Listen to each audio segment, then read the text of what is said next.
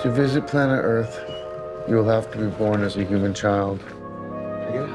At first, you will have to learn to use your new body, to move your arms and legs.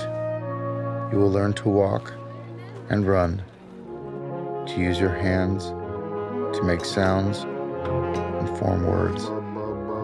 There will be so much for you to learn, and so much for you to feel sadness, joy, disappointment, and wonder. You will grow up, travel, and work. Over the years, you will try to make sense of that happy, sad, full, always shifting life you are in.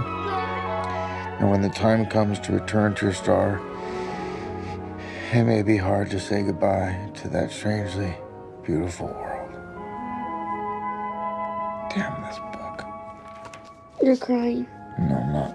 Yes, you are. You're definitely crying. Say you're crying.